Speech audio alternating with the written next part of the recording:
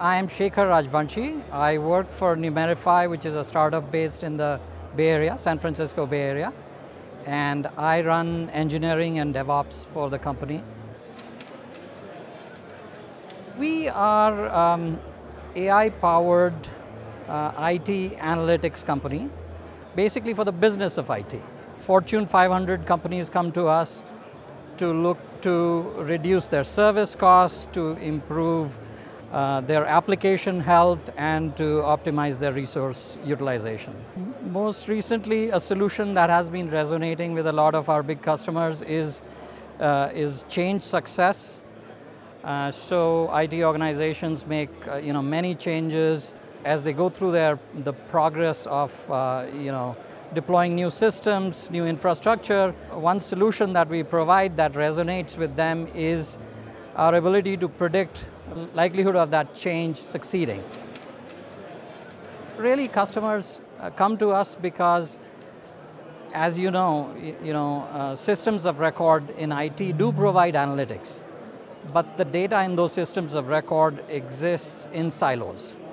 We break down primarily the data silo.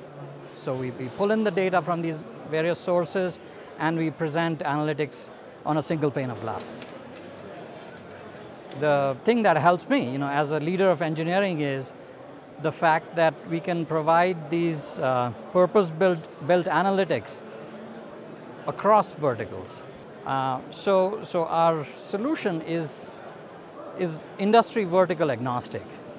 Essentially, you know, we are working with the IT organizations, and so we are experts in the systems of record that IT organizations use you know, the, the platform that we provide that is the basis of our anal analytic applications is that it helps maintain the customizations as the, the platform upgrades, as the new capabilities are incorporated in the platform and in the analytic applications.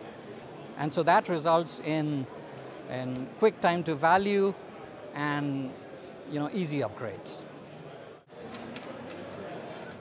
Now, uh, you know, one key focus for us going forward as a business is going to be uh, machine learning and AI, as with a lot of other people.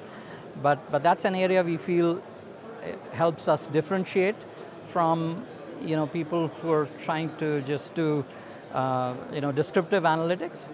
Uh, uh, you know, we find that our customers like the fact that we are able to provide you know, predictive analytics uh, and, and, so as we grow into you know, new use cases, as we uh, look at uh, you know, solutions with, with these new technologies that, that are, uh, you know, that AWS is bringing on board, that you know, a lot of open source projects are, uh, are rolling out.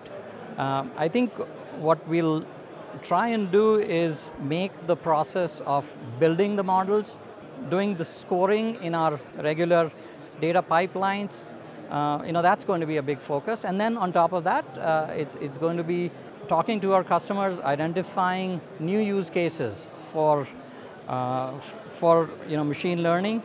Um, you know, some of the examples that we, we are already starting to look at are, are incident clustering. Uh, you know, we are looking at uh, predictive, uh, predicting, you know, so software delivery. So high quality in, in software delivery.